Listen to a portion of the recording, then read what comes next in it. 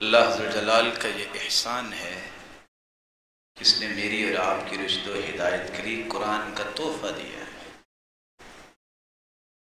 और इस तोहफे को पेश करने के लिए उस हस्ती का इंतखब किया कि जब से ज़मीन व आसमान बने हैं, आज तक ऐसी हस्ती अल्लाह ने दुनिया में नहीं भिजवाई जिस तरह की हस्ती मोहम्मद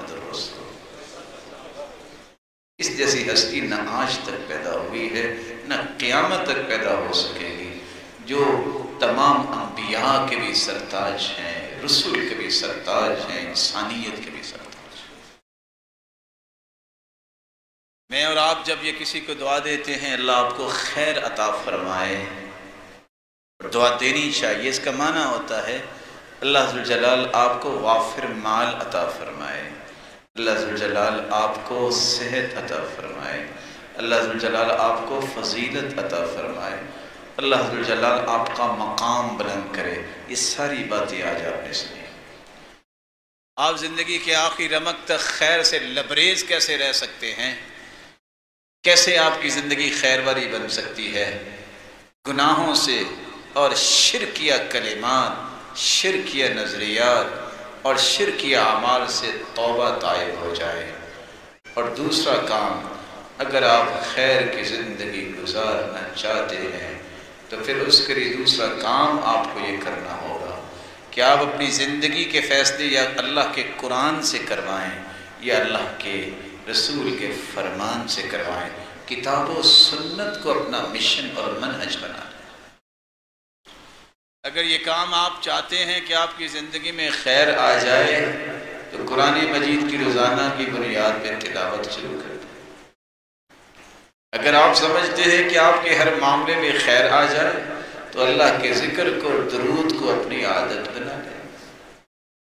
अगर आप समझते हैं कि हमारे अंदर खैर होनी चाहिए तो आपको ये याद रहना चाहिए कि अल्लाह के जो शायर हैं, जो मुक़दसात हैं अल्लाह की ज़ात पर, उसके पैगंबर की ज़ात पर और सहाबा की ज़ात पर।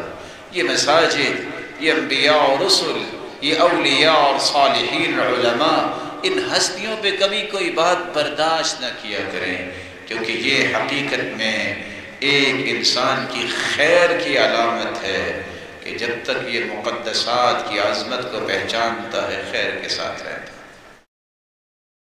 रसूलुल्लाह सल्लल्लाहु अलैहि वसल्लम का एक उसूल छठा आपने सुना कि अपने ताल्लुक और मोहब्बत की बुनियाद अल्लाह की रज़ा बनाए।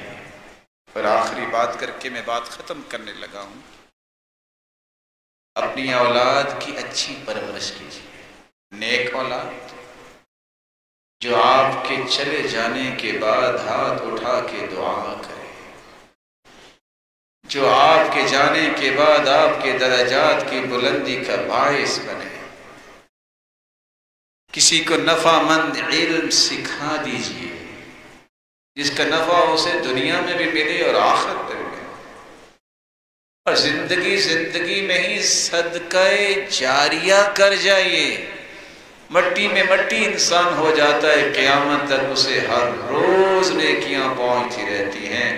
जो इंसान बाज नेकियाँ कर जाता है सदका जारिया के तौर पे, आप मस्जिद बनवा दीजिए, कुआँ खुदवा दीजिए, दरख्त खजूर का लगवा दीजिए, कुरानी मजीद का नुस्खा मस्जिद में रखें, विरासत में छोड़ें, सदका कर दें, और कुआँ खुदवा दीजिए, लोगों के लिए पानी का बंदोबस्त करवा दीजिए, जिसके पास घर नहीं है, उसको घर बनवा दीजिए, ये ऐसे काम हैं कि आप और मैं तो दुनिया से चले जाएँगे, लेकिन क़यामत की दीवारों तक इनकी नेकी रुक नहीं पाएगी। रसूल अक्रम सल्लल्लाहु का फरमान है, खैर सलास। इंसान जब दुनिया से जाता है तो सबसे बेहतरीन चीज़, छोड़ के जाता है वो तीन चीज़ें हैं वलद ये नेक औलाद। जो उसके लिए दुआ करती है। वसदक़त तजरी यबलुग अजरोहा, और ऐसा नेकी का काम जो उसके लिए सदक़ जारिया बन जाता है। वह और ऐसा इल्म जो वो लोगों को सिखा के जाता है, जिससे लोग नफ़ा हासिल करते हैं। अल्लाह जलाल से दुआ है। अल्लाह जलाल, हम सबको खैर वाला बनाए। और हमारी ज़िंदगी को खैर से भर दे। मौलाए करीम, इस वतन अज़ीज़ में रहने वालों को खैर अता फरमा दे। खैर के तमाम जाविये इन्हें इनायत कर दीजिए।